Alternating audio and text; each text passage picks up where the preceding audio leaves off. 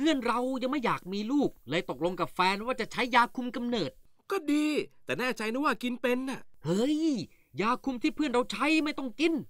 อ้าว แล้วใช้ยังไงอะ ก่อนนอนน่ะเอายามาวางไว้ระหว่างหัวเข่าแล้วหนีบให้แน่น เพศสัมพันธ์เป็นเรื่องธรรมชาติ แต่ถ้าไม่พร้อมมีลูกต้องคุมกำเนิด ซึ่งมีหลายวิธี แต่มันมีบางอย่างที่หลายคนคิดผิดว่าคุมกำเนิดได้ ผิดแรกผู้ชายหลายคนทำบ่อย นั่นคือการหลั่งข้างนอก น้ำอสุจิไม่เข้าไป มันจะท้องได้ยังไง แต่รู้ไหม วิธีนี้เสี่ยงได้ลูกถึง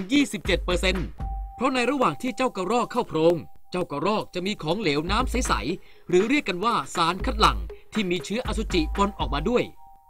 อสุจิอาจเล็ดลอดเข้าไปในช่องคลอด และมีแรงรอพุ่งไปหาไข่ได้ประมาณ 2 วัน นี่ยังไม่นับว่าเวลาจะถึงเส้นชัย ผู้ชายมักดึงกระรอกออกมาไม่ทัน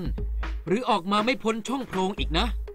ผิดที่2ของผู้หญิง การนับหน้าเจ็ดหลังเจ็ดวิธีนี้มีประสิทธิภาพต่ำที่สุด เพราะมันคือการกะระยะเวลาก่อนและหลังของการตกไข่ จากการเดาเวลามาของประจำเดือน ซึ่งสาวๆน่าจะรู้ดีว่าประจำเดือนมันเลื่อนได้ เดือนไหนไฟแดงคลาดเคลื่อน ก็ท้องได้นะจ๊ะถ้าจะมีเพศสัมพันธ์แต่ยังไม่พร้อมจะมีลูก ใช้ถุงยางอนามัยทุกครั้ง ลดเสี่ยงได้ทั้งลูกและโรค ในบอกเพื่อนแล้วใช่ไหม